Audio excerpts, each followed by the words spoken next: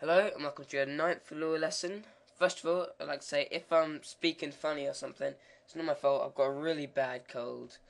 And I have did for my last video as well, in case you were thinking, why is he speaking weird? Um.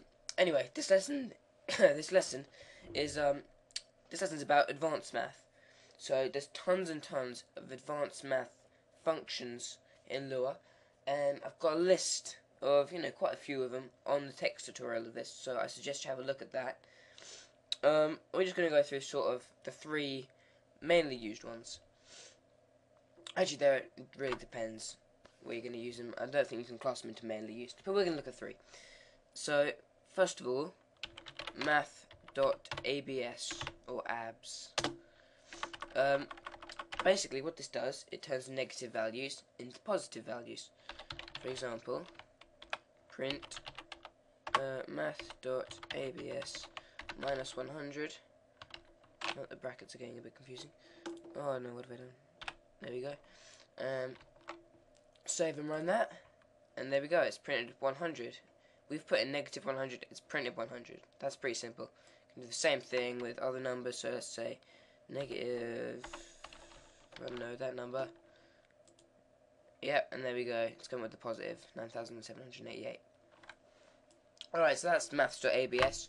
Uh, ABS stands for absolute, so it's kind of, you know, the positive. Um, you know, it makes sense. Uh, next is um, actually two that I've sort of shoved into one when I was counting them. So although I've said three, we're kind of in four. Um, math.ceil and math.floor. Um, basically, ceil is like ceiling and floor is like floor. And this will become relevant in a sec. So let's just make our print statement math.ceil. And as our input, we're going to put 3.1. Okay, 3.1. Let's see what it outputs. Click run. It outputs 4.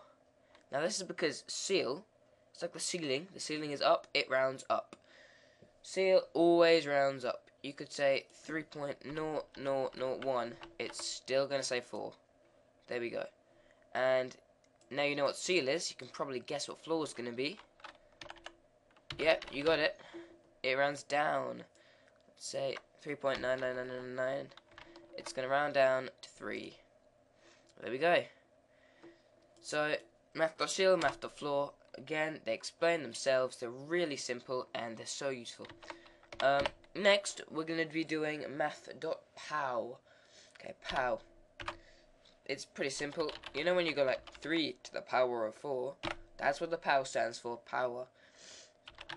So math.pow, and your first number is the number you want to do the stuff to, so 3, comma, and let's say we want to raise it to the power of 4, like I just said, we'll put 4. So that does 3 raised to the power of 4. So let's just run this. Apparently 3 raised to the power of 4 is 81. Okay, hope that's right. It will be right and then obviously you can change your numbers and whatever else. Um, as I said, I've got so many more on the site, and you know, um, a lot of them are probably more useful than these, but these are the simple ones, and I don't want to confuse people that aren't that good at maths. So I thought we'll go through these. Um, math stuff's really useful, so I do suggest you have a look at the text tutorial. Um, I can't cover them all in this lesson. Um, and I'd use an example, but haven't thought of one. Let's just say, I'll make one up, it probably won't be that good.